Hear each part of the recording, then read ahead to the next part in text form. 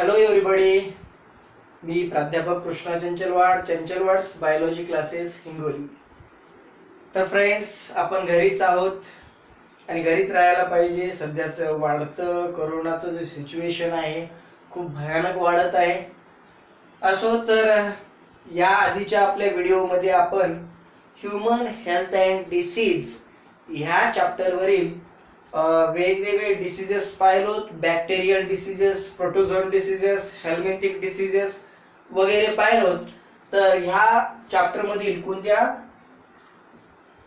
Human health and disease या chapter मधील फक्त दोन डिसीजेस राहिलेले आहेत आपल्याला शिकवायचे. त्यामध्ये पहिल्यांदा बघा डेंग्यू फिवर डेंग्यू फिवर कसा आहे हा? व्हायरल डिसीज आहे. बघा it is a painful vector borne disease हा डिसीज कसा आहे? व्हेक्टरने ट्रान्सफर होतो. इन्फेक्टेड पर्सनकडून हेल्दी पर्सनकडे बघा vector borne disease caused any four related dangerous viruses वेगवेगळ्या चार टाईपच्या व्हायरसेसमुळे हा डिसीज होतो. Dengue virus transfer by bite of female Aedes mosquito. Dengue virus कसा ट्रान्सफर होतं बरं? फिमेल एडेस मॉस्किटोने. बघा आपण आतापर्यंत तीन डिसीजेस पाहिलो की मॉस्किटोने ट्रान्सफर व्हायरणारे व्हेक्टर बॉर्न डिसीजेस कोणते कोणते आहेत?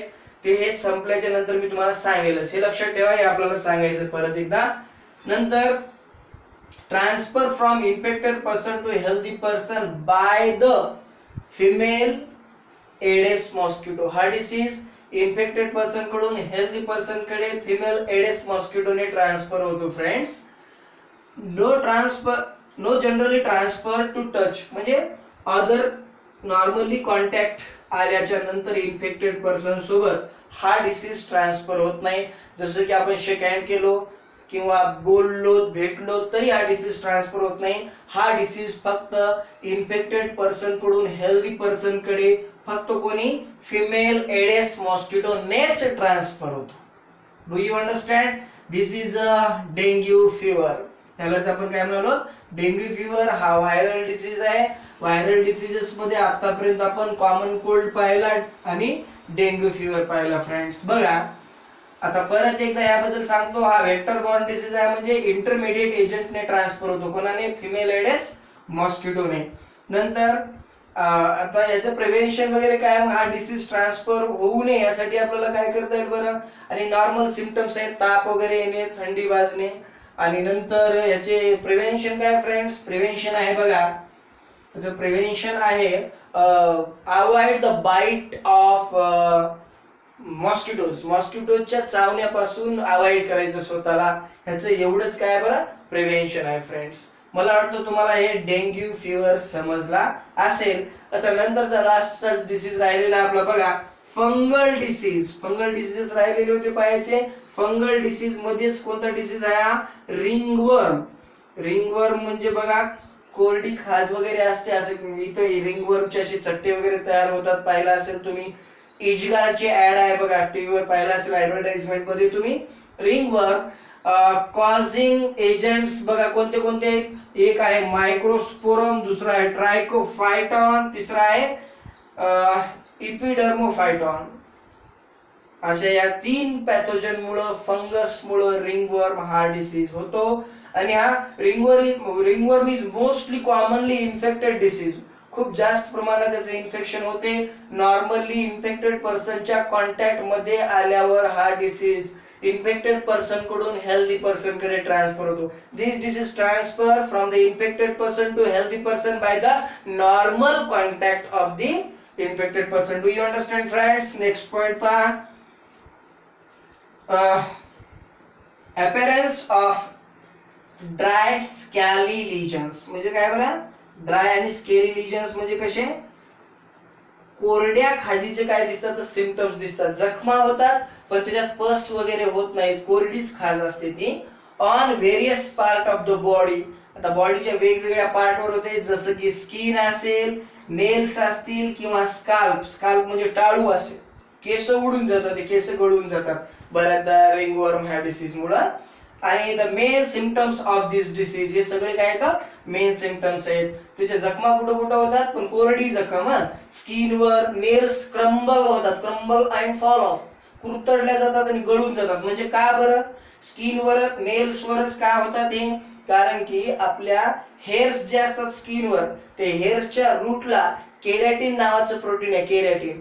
And these why these fungus attack on the keratin proteins and feed on the keratin. ते केरॅटिन प्रोटीन खायलेले असतात त्याच्यामुळे काय होतात ते? स्किन कुरतडून टाकतात किंवा नेल्स कुरतडून टाकतात क्रम्बल करतात क्रम्बल अँड फॉल ऑफ हा. नंतर फ्रेंड्स दीज लिजन त्या जखमा आर इंटेन्स इचिंग म्हणजे काय बरं? लिजन ते जखमा काय होतात? इंटेन्स इचिंग म्हणजे काय? खूप जास्त प्रमाणात खाजते. कोरडी खाजच म्हणतो आपण त्याला तसं तर. हीट अँड मॉइश्चर ओलसरपणा आणि गरम. हे काय बरं? ते वाढण्याचे जास्त सिमटम्स आहेत. Help the fungi to grow which make them thrive in skin folds such as those in the groin or between the toes.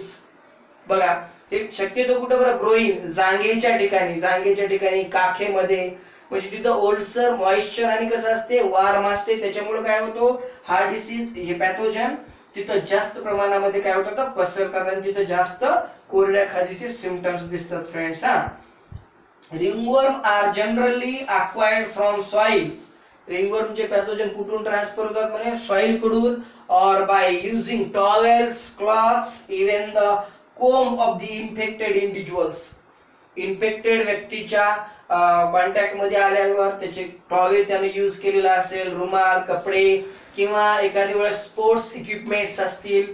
आपले खेळायचे जे साहित्य असेल कोंब किंवा कंदवा वगैरे असेल तिच्याकडून इन्फेक्टेड पर्सनकडून हेल्दी पर्सनकडे हा डिसीज ट्रान्सफर होतो. मला वाटतं फ्रेंड्स तुम्हाला डेंग्यू फिवर आणि फंगल डिसीज मधला रिंगवर्म हा डिसीज समजला असेल. त्यानंतर पहा कोणते तीन डिसीजेस आहेत जे मॉस्किटोने ट्रान्सफर होतात. व्हेक्टर बोर्न डिसीज म्हणतो आपण त्यांना. कोणते कोणते आहेत बघा? मलेरिया दुसरा कोणता आहे?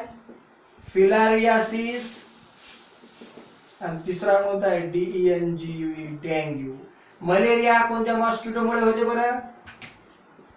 फिमेल अॅनोफेलिस फिलारियासिस कोणामुळे होते? क्युलेक्स फिमेलच पण का बरं का हे पण? आणि डेंग्यू कोणामुळे? एडेस मॉस्किटो आणि ही पण कोणती आहे? फिमेलच का हो? सगळ्या female mosquitoes feed on the vector blood feed on the blood सगळ्या फिमेल रक्तावर जगतात. म्हणजे चुडेल आहेत का? नाही. बघा हे कशा आहेत रक्तावर जगतात सगळ्या फिमेल सगळ्या फिमेल म्हणजे सॉरी हा मी ह्युमन वाले नाही म्हणतो बरं का मॉस्किटोच्या सगळ्या फिमेल या फीड ऑन द कशावर? ब्लड ब्लडवर आणि मेल बिचारे प्लांट सॅपवर जगतात. ह्युमन मधले नाही बरं का मॉस्किटोचे आलं का लक्षात? आणि बघा अशा प्रकारे हे तीन डिसीजेस आपण व्हेक्टर बॉर्न डिसीजेस सुद्धा देखील आपल्या आतापर्यंतच्या सगळ्या व्हिडिओजमध्ये पाहिलो friends human health and disease या चॅप्टर मधले नंबर ऑफ सगळे डिसीजेस जवळपास आपण पाहिलेतच. मला वाटतं समजलं असेल. ह्यामध्ये काही समजलं नसेल तर बिनधास्त मला विचारून घ्या. तोपर्यंत गुड बाय फ्रेंड्स थँक्यू घरी राहा सेफ राहा बाहेर पडू नका. Thank you friends